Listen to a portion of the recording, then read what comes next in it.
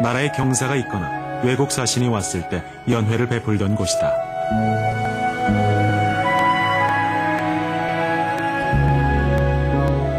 경회로의 건축 양식에는 심오한 주역의 원리와 우주의 이치가 내재돼 있다.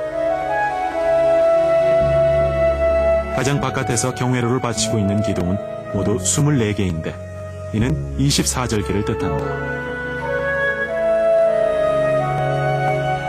이 밖에 기둥의 길이, 연못의 형상 등도 주역의 숫자와 관련이 있다.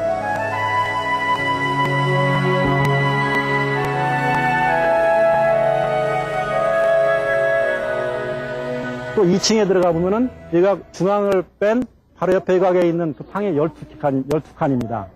그 12칸은 우리가 1년, 12달, 그걸 표시하고 또 중앙에 세 칸은 천지인, 모든 그 자연의 기본인 그 삼재를 뜻하는 이런 형태로 돼서 이 경회로 건물 자체는 흔히 지역을 얘기하고 거기에 표현하는 것지만 우리 동양인이 생각하고 있는 자연 우주 질서를 이 건물 하나에다가 축약해서 놓은 아주 어, 그 자연 조화적인 이런 건물이라고 할 수가 있겠어요.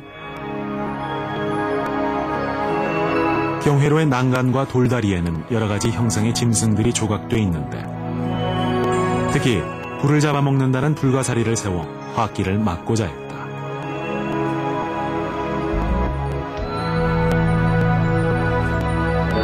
우리나라 누각 중 가장 큰 경회로 웅장하면서도 사치스럽지 않은 것이 조선 후기 건축물을 대표할 만하다.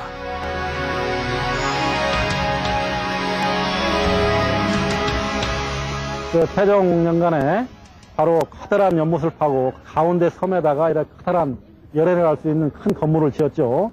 우리나라에서 가장 큰 그 누각 건물이고 또 거기가 막 걸맞게 그 추녀마루에 있는 잡상도 11개로서 우리나라에서 가장 많은 잡상이 올라가 있는 이런 건물이기도 합니다. 그 건물은 건물에 나오는 그 잡상은 흔히 그 유인봉의 어우야담 같은 책에 보면은 그 우리가 서유기에 나오는 그 인물들을 어, 어, 조각을 해놨다 이런 모습을 얘기하거든요. 예, 그래서 맨 앞에는 원래 모습은 말탄 삼장법다 뒤에 이제 손오공, 사오정, 저팔계 이런 순으로 되어 있다고 그러는데요. 일단 그 상상의 동물을 뒤에 새긴 거라고 새기면 되겠어요. 그 기본 기능은 이제 이 건물을 해치는 그런 삼장법사, 손오공 등 서유기 인물들로 만들어진 잡상. 예로부터 잡기를 물리친다고 믿어져 왔다. 보통 건물에 따라 7개에서 11개의 잡상이 있는데 잡상이 많을수록 격이 높은 건물로 인정을 받았다. 경회로는 11개의 잡상으로 우리나라 건물 중 가장 많다. 그 옛날 수정전은 고종이 국사를 보던 곳이었다. 원래 이 앞에는 궁궐내 수많은 건물들이 있었는데 현재는 이렇게 빈터만 남아있다. 아, 이제 왕의 침전인 강령전에 지금 우리가 오고 있죠. 강령전, 편할강, 편할령, 임금님이 편안하게 쉬시는 곳. 그래서 어떤 일상생활에 그 이제 정치할 때그 어, 응? 고민스러운 일이라든가 이걸 다 그냥 잊어버리고 편안히 쉬시면서 그 잠을 잘 수 있는 그런 공간입니다. 또 쉴 때는 단순하게 쉬는 것이 아니라 항상 그 전 우주 질서의 어떤 힘을 받아가면서 평온함을 지켜야 하는 이런 또 하나의 그 상징적인 의미를 가지고 있죠. 그래서 이 왕이 머무르는 곳에는 그 사방에서 힘들이 그 길을 넣어주는 이런 분위기를 갖게 돼요. 왕이 있는 데가 중심이 되고 동서남북에서 또 그와 같은 왕의 그 어? 건강을 지켜줄 지켜줘야 되는 것이죠. 그래서 보면은 이 강령전을 중앙에 놓고 지금 동서남북 네 곳에 건물이 하나씩 지어져 있어요. 그러니까 중앙에 있고 동서남북 건물 다섯 개가 되어 있는 것이죠. 특히 이 앞쪽에 있는 연생전과 경성전 이 두 건물을 볼 때 이해는 이렇게 한번 이해해 보세요. 가운데 글자가 하나씩 빼서 보세요. 날생자, 이룰성자예요. 그걸 빼면 생성, 나서 성장하는 것이죠. 예, 모든 생명체가 나서 성장하는 것처럼 국가의 살림살이도 잘 만들어서 잘 지키고 이루어 나가야만이 백성들이 편안하게 지금까지는 왕의 공적인 공간이었다면 이곳 강령전부터는 왕이 잠을 자고 일상생활을 하는 사적인 공간이라 할 수 있다. 강령전은 왕의 침전이자 일상 업무를 보던 공간이다. 일이 없을 때면 왕은 이곳에서 책도 보고 신하들과 얘기도 나누었다. 이처럼 왕의 일상생활이 이루어지는 구역이기 때문에 외부인의 출입은 엄격히 제한됐다.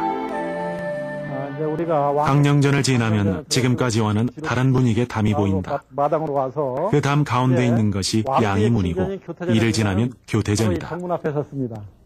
앞에 문 이름을 보세요. 양의문이라고 되어 있죠. 양의문이라고는 그 글자의 뜻을 봅시다. 양의라는 뜻은 바로 두 개를 뜻하는 양자가 써 있죠. 의라는 건 의례를 얘기하고요. 그러면서 또 양이라는 뜻은 원래 음양을 얘기를 해요.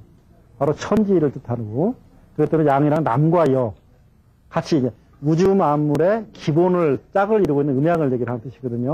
바로 이 건물 안에는 그렇기 때문에 왕과 왕비가 만나는 곳이겠죠. 자, 우리 들어가 봅시다. 교태전은 궁궐의 가장 중심부에 위치하고 있다. 때문에 이곳을 중궁전이라 부르기도 한다. 자, 우리가 이제 교태전에 왔습니다. 어떤 느낌이 들어요? 우리가 궁궐을 얘기할 때 항상 구중궁궐이라는 말을 많이 하죠. 구주, 궁궐 중에 가장 깊은 곳. 이제 구중궁궐이라는 말이 그런 뜻이죠. 때문에 바로 특히 여인의 공간, 또 왕비라고 하는 어떻게 보면 신성불가침의 존재 같은 느- 느낌을 받는 그분이 바로 여기서 머무르는 곳이에요. 강령전이 왕의 침전이라면 교태전은 왕비의 침전이다. 왕비의 침전답게 경복궁 내에서도 가장 여성스럽고 화려하게 지어졌다. 교태전에는 함원전 등 후속 건물이 연결돼 있다. 교태. 교라는 것은 좀 잘 아시죠? 어? 서로 서로 교환하고 교합하고 바꾸고 이런 뜻을 가지고 있고 태라고 하는 것은 우리가 그 큰- 해석상으로 보면 클 때자입니다. 근데 이것은 그냥 단순한 클 때자의 의미, 물론 클 때자의 의미를 해석할 수도 있겠지만 여기에는 주역에 나오는 팔계 중에 태괴라는 게 있어요. 태괴라는 건 우리가 태극기에 나오는 그런 괴처럼 그 괴에 보면은 그것도 이제 그 양의라고 하는 음양으로 나눠져 있는데 양의 가장 큰 양인 바로 건괴 그것이 이제 건이라고 하는 부분에 그 하늘을 뜻하는 것이 아래에 있고 그리고 그 곤이라고 하는 괴가 위에 있는 어떻게 보면 그 되게 하늘이 위에 있고 땅이 아래에 있는 것이 일반 자연현상인데 거꾸로 어? 하늘이 아래에 있고 땅이 위에 있는 이런 형태의 모습을 가진 괴의 이름이 태계거든요.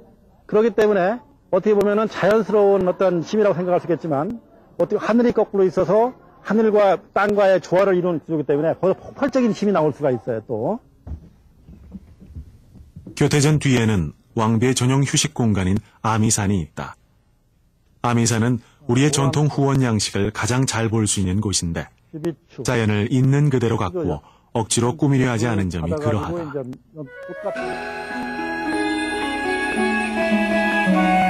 아미산 화단에는 조형미가 매우 뛰어난 굴뚝이 있다. 붉은색의 벽돌을 구워 만든 이 굴뚝은 보물 제811호로 지정돼 있다. 굴뚝의 가운데에는 해, 산, 소나무, 사슴 등의 무늬가 새겨져 있는데 이는 장수를 상징하는 십장생이다. 또한 매화, 난초, 국화, 대나무 등 절개를 상징하는 사군자도 있다.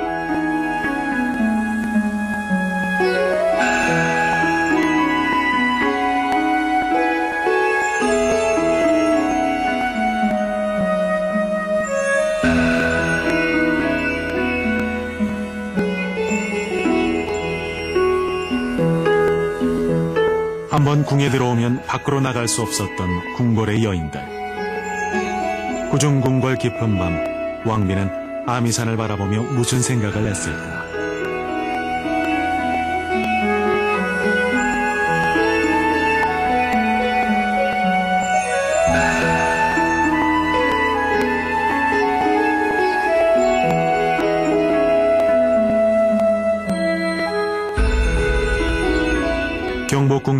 중에서 교태전이 가장 화려하다는 것은 담장만 봐도